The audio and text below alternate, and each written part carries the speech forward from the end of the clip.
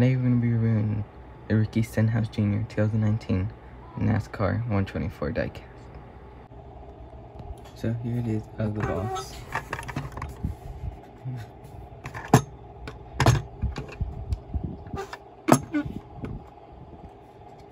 Really good detail.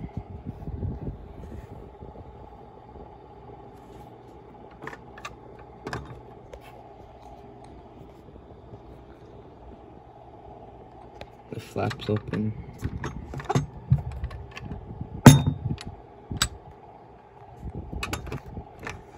And the hood. Here it is with the hood open. The engine. And that's it. Powered by foreign and other brands. Go to the chassis.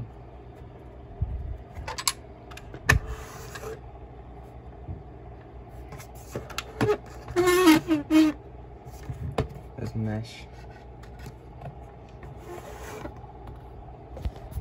And that's it.